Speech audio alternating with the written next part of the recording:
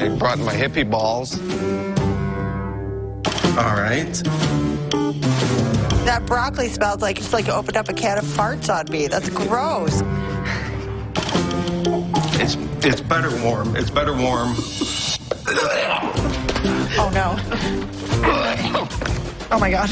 Oh my god. The feta doesn't travel well. That's not the fault of the poor feta. Are you done gagging? Yes, yes. Oh my god. I see him in red. Oh, yeah. My name is Adeep, and I'm 36 years old. Come on.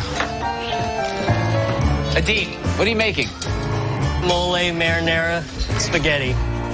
Interesting. This is a legitimate dish that I make. Mmm, yummy.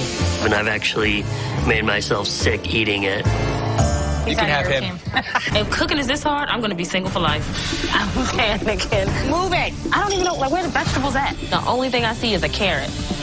Oh my god. What are you crazy? Way to go, red team. You're gonna cut your damn fingers off. Oh my god. That looks like something that a dog left on the sidewalk outside my house. That is college dorm chili. You haven't cooked since you were in college? No. My wife does everything in my life. Forget about tasting it. I couldn't even look at it. Don't take offense to this, but I will not taste this. I won't either. I'm sorry. I just hope he doesn't wind up on my team.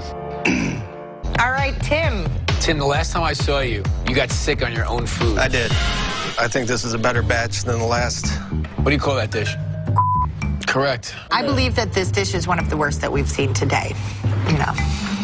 Oh, don't you be. Yours is the other one, so I wouldn't be so happy over there. The two helpless guys. Adeep.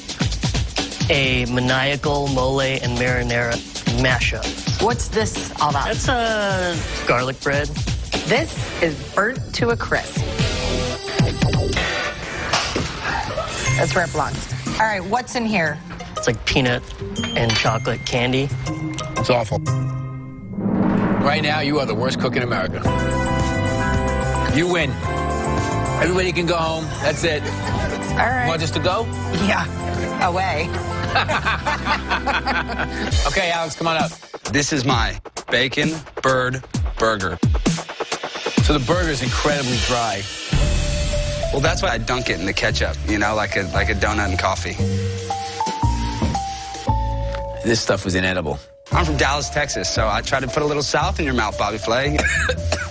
I'm Flay all day making souffle with Bobby Flay. It's yours. he has a lot to say. And plus, I like to burn things. You It's- like to burn things? Yeah, because then I know it's definitely cooked. Sounds great.